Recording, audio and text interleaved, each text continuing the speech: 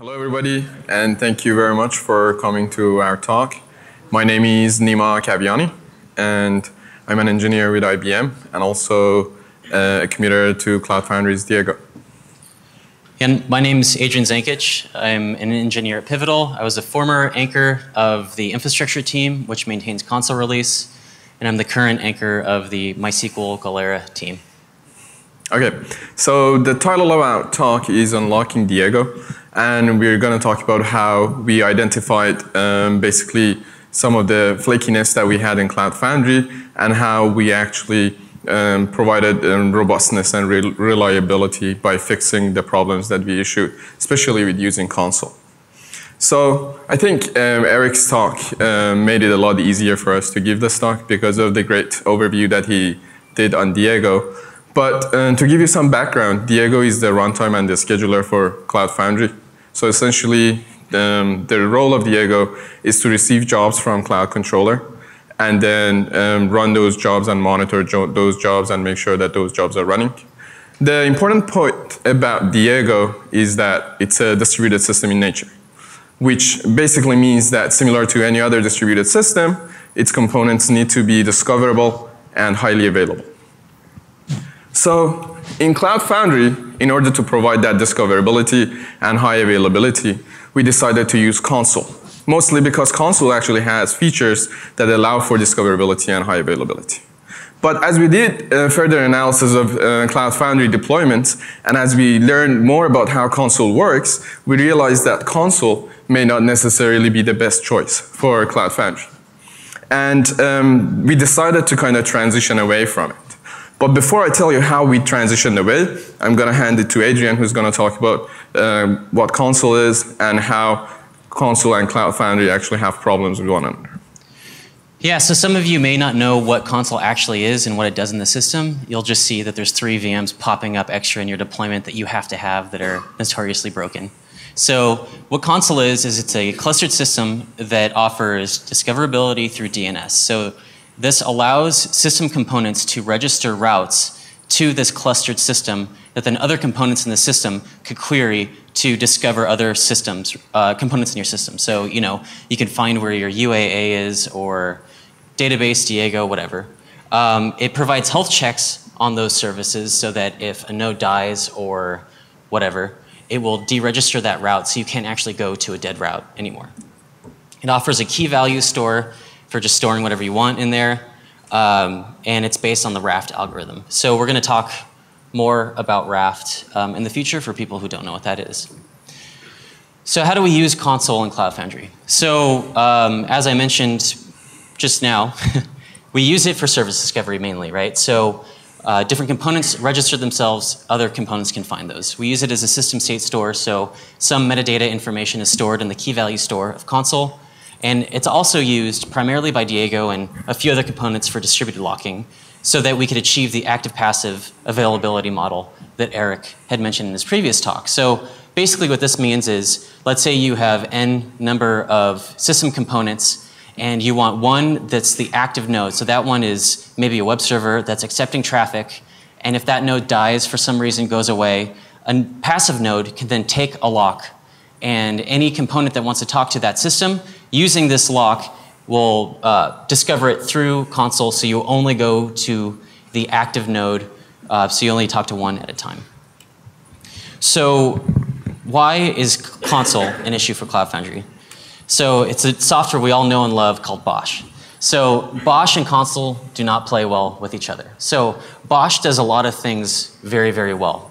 It handles stateless services amazingly well, gives us everything that we love about automatic uh, operating system upgrades, software upgrades, all that kind of stuff. However, one area that BOSH could use some improvement in is stateful services, and even more so, clustered stateful services. So Consul is a double whammy of stuff that doesn't work super well with BOSH, and we've seen a lot of pain around orchestrating this. So um, the reason why they're so painful is Raft.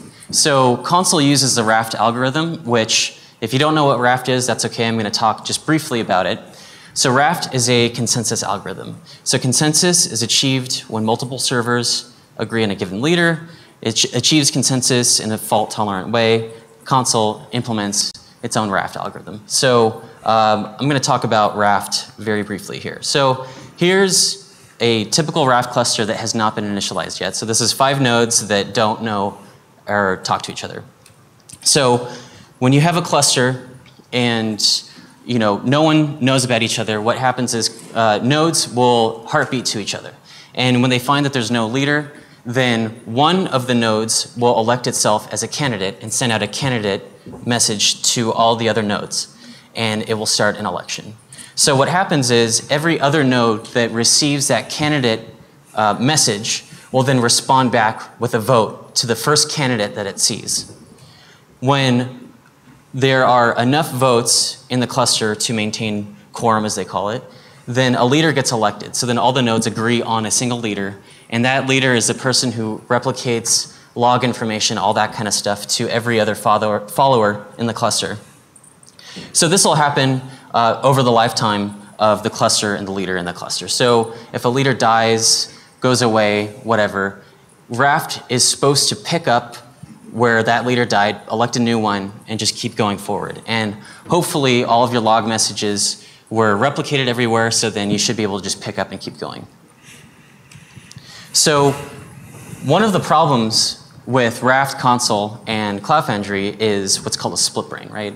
So a split brain in a Raft cluster is when you have a partition between one set of nodes and another set of nodes. So let's say you're doing a deployment, something fails, there's a network, isolation, whatever. Uh, one node may elect a leader and talk to some amount of nodes, and another node may elect a completely different leader and talk to another set of nodes there. So then you have two separate sets of data, two separate leaders that they should all be unified. And I don't want to go too much into the details about how Consul works, but basically there's clients on each system, and then there's a uh, central cluster. And then each client will talk to the cluster, get routes about everybody else, and register new routes. So then if half of your system is talking to one side of a cluster, and the other part is talking to another part of the cluster, then one side of your system can't talk to the other side because it simply just cannot even get the routes to that other side. And this is a big problem uh, in Cloud Foundry. So a really common situation for um, split brains and how all this stuff breaks down is during BOSH deploys or network uh, isolations. So what will happen is BOSH wants to uh, roll a VM, which coincidentally is always the leader, right? So then it takes down the leader. Raft should elect a new leader and uh, the cluster should be happy. So most of the time that happens. But sometimes, let's say a leader goes down, the remainder of the cluster takes too long to elect a new leader, the previous leader comes back up, it knew that it used to be the leader, and there's no leader, so it tries to participate in another election, bunch of bad stuff happens. And sometimes when a leader will come back up, it might have data in the future or behind where the current cluster is. And if you've ever orchestrated a Consul cluster in Cloud Foundry, then you will know that there is that dreaded log not in sync error message, which basically means go in there, wipe out all the data, stop everything, and start it all back up from scratch. That is when Consul gets into a situation where it can't trust its data anymore. So uh, Consul is a consistent system, and when we don't know who the source of truth is anymore, then you're just completely screwed at that point. All right, so next we're going to talk about how Consul failures affect Cloud Foundry, and in particular Diego, because Diego is one of the primary um, users of Consul in the Cloud Foundry ecosystem. So let's just start with an overview of Diego. Uh, I'm going to be very brief about it because I think Eric did a great job. But essentially, when Cloud Controller wants to run a job, it contacts BBS or the bulletin board system in Diego, which is the forefront of communications with all other components in Diego. And it sends the job information as well as the resource requirements. BBS then passes that information to the auctioneer, which is the scheduler in the environment. It receives the information for the job, the resources, and then consults all the uh, cell VMs for their available resources resources in order to decide, okay, where to schedule the job. And once that is identified, it uh, communicates with the rep, which is the process representing a cell VM, passes the job information to that um, cell, and then the rep launches a container, uh, pulls the code for that job into that container, and starts the container, and then monitors its execution, and then reports back to BBS. Another key component in Diego is the route emitter. And what the route emitter do does is that once the job is up and running, it actually takes the route to that uh, job and makes it available to the outside world by communicating it to the Go router. So that's how your applications, once you push an application to Cloud Foundry, it becomes accessible from outside. So Diego um, uses Consul for high availability for service discovery and for data store. Um, as Adrian mentioned, the model of high availability that is implemented is Diego is an active passive model where the active instance in a family of components is the one that is receiving the request and then handles the request. And all the passive instances are basically sitting there idle, waiting for the active instance to go down for them to take over. Um, so service discovery is done in such a way that the active instance in a family of components registers itself under a domain name. So for all the other components in Diego, when they want to contact uh, like a given component, they use that domain name. And that domain name then gets resolved to the address of the active instance of, you know, um, a family of components, whether it's BBS or Auctioneer or anything else. So out of all components in Diego, the BBS, the Auctioneer, the reps, and the route emitter are the ones that heavily utilize um, Consul. So um, BBS, Auctioneer, and route emitter use Consul for service discovery, for high availability, and for distributed lock that they use for the active passive uh, high availability uh, model. And the rep uses um, Consul in order to provide information about the cell that it manages, including some metadata about the resources that it has available.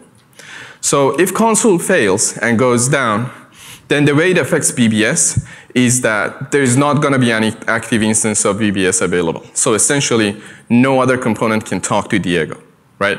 And then the DNS record fails to update because we use Consul DNS for providing the DNS service and the discovery. So that becomes unavailable. And then essentially, Diego becomes unreachable.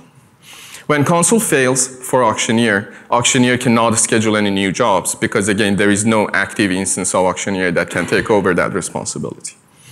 When it becomes available for the rep, the rep cannot provide information about the cell that it manages to the rest of the system. So if all reps lose communication with Consul, essentially what happens is that you don't have any cells available in order to schedule any new job.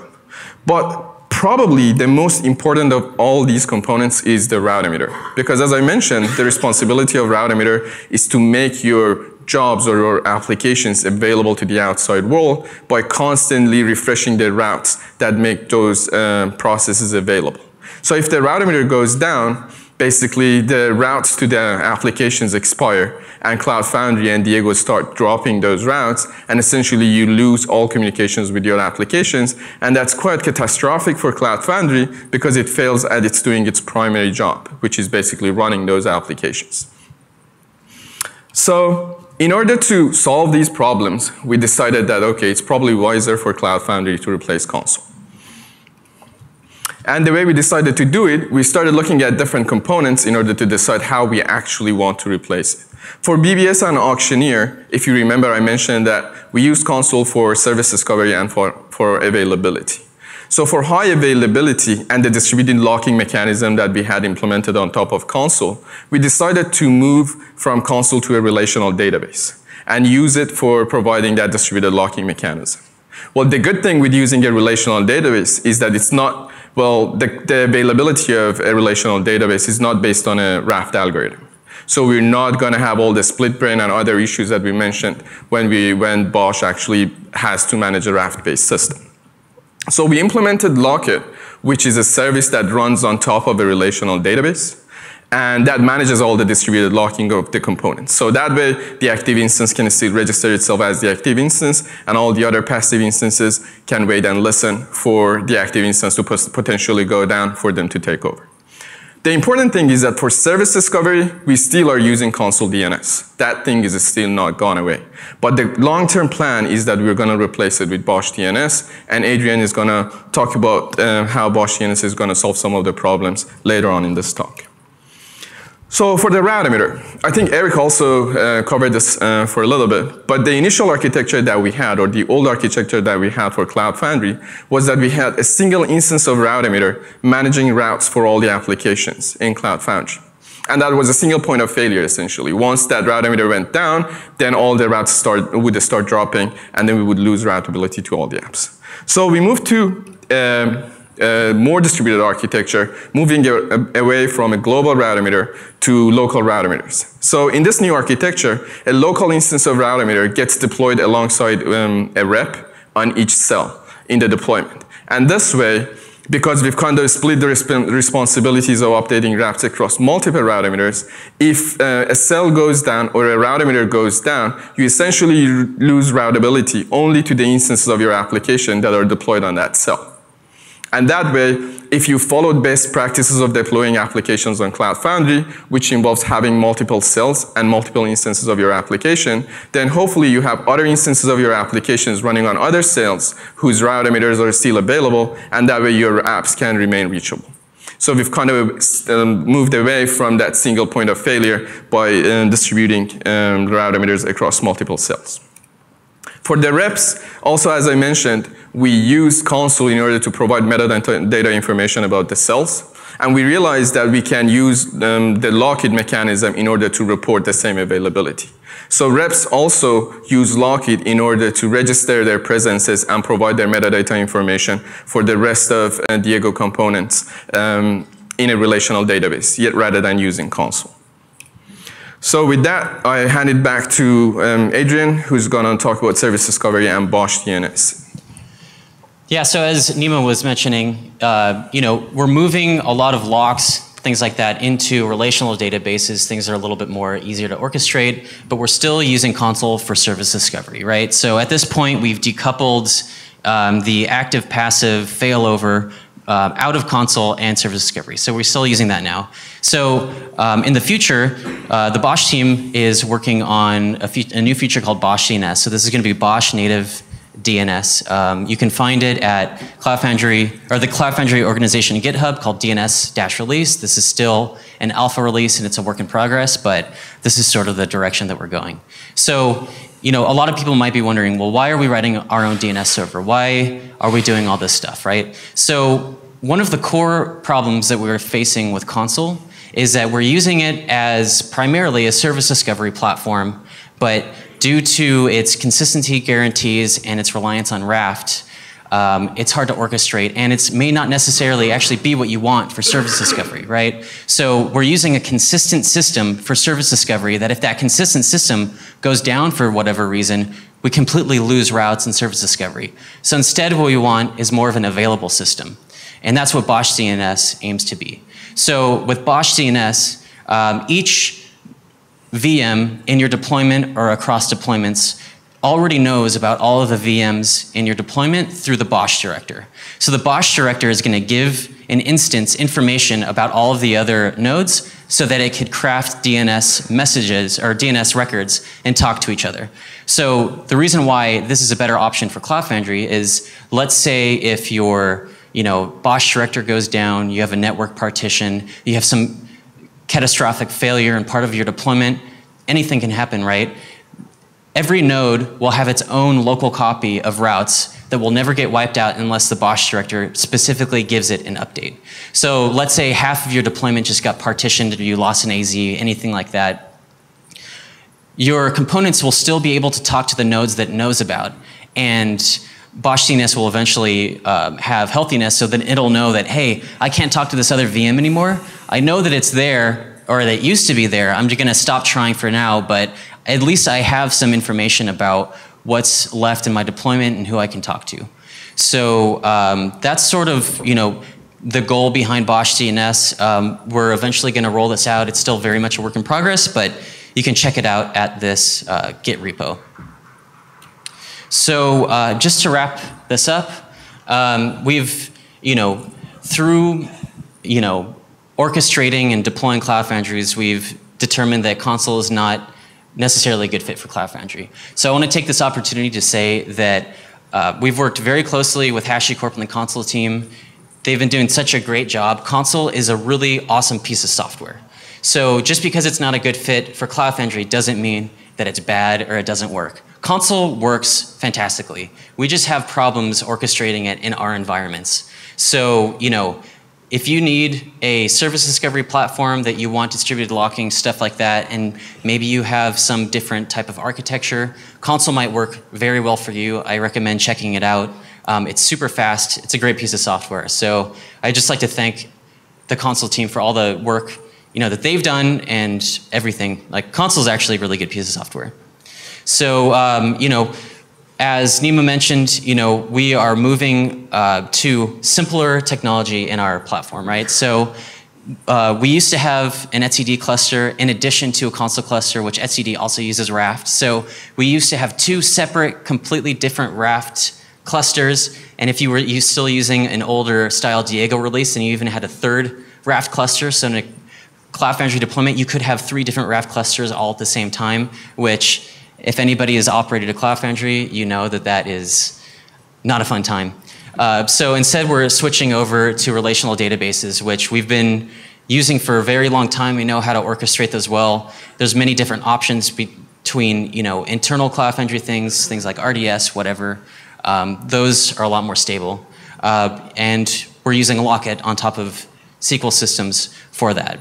Um, BOSH DNS, which I talked about some, is going to replace Consul DNS. So we're still using Consul for DNS currently, but in the future, that will likely not be the case. And this will allow us to have a more available service discovery system within Cloud Foundry that should be more resilient to partial system outages and also make the deployment story a little bit um, easier. And also, you should be able to remove three VMs from your Cloud Foundry deployment that were just sitting there, kind of just dying all the time.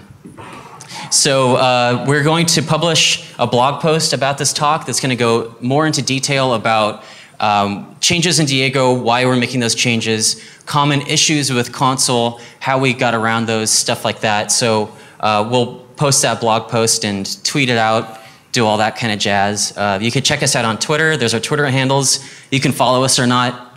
No big deal, no pressure. Uh, you know, and that's it. Thanks.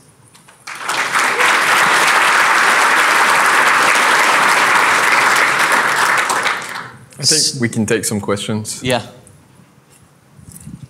Yes. So is this like uh, for BOSH DNS, would this kind of be like a local host record for every single system? So uh, there's, uh, so the uh, first version of BOSH DNS is exactly what you're talking about. So it would write records into hosts. It was, it would periodically refresh that, but you couldn't really uh, query the director for give me records in the zone or healthiness or anything like that. So BOSH DNS is actually going to be a uh, DNS server that you can co-locate on a job that the BOSH agent will lay down a file that has information about all the other uh, nodes in your deployment and also other deployments on your system. And then that would bind to a local um, IP address that's meant on the loopback interface. Then you can ask it for DNS uh, records. And there's sort of like a query syntax that you can say, uh, you know, give me records of nodes in this zone or things like that. So currently it's in hosts, but eventually it won't write into hosts anymore, and it'll actually be a fully functioning DNS server. Yeah. So um, you've talked a lot about how network partitions are like the initial root of all evil uh, when, when using Consul. I'm still not sure how your current implementation actually solves the problem of network partitions. Like, I mean, for distributed locking, um, how, how would that work if I actually have a or properly? Um, I think it really um, comes down to how the database is managed. I think the problem with Consul is that it's a lot easier when you have a Raft-based um, system to get into a split partition. Um, if you use something like RDS as your backing data store, you don't even need to care about the distributed, like the split, um, the split situation or the split brain case.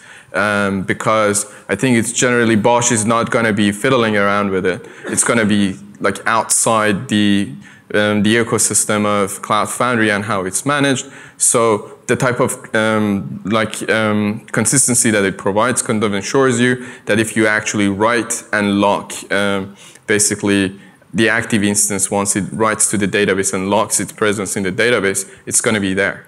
And the other components are not necessarily going to take over. So you're saying you're delegating this to Amazon RDS or? Or, yes, exactly. Or so also too, just, you know, if your database goes down in Cloud Foundry, you've got a lot of problems, right? And uh, orchestrating a database is a lot easier than orchestrating Raft clusters, right? So you are absolutely right. If your database goes down, you're going to have problems. But that's also the case today. If your database goes down, you're going to have a bad time no matter what happens. So this is just one more thing that's going to go bad if your database goes down. So, you know, there you go. Yeah, it's, it's very good. Uh, almost very, like a lot of people who have this problem also are using AJ proxy front of it to make it available as a MySQL system. It's kind of a known problem. And it's much easier to promote a MySQL slate that's acting as like, you know, your consistency or whatever you're using than it is to try to fix a broken consequence cluster. Getting a high available MySQL or Postgres right is also, it's, it's not an easy thing. It's not easy. Yeah, maybe we can take this outside after the thing. Are there any more questions? All right. I think that's it. Thank you very much. Yeah, thank you.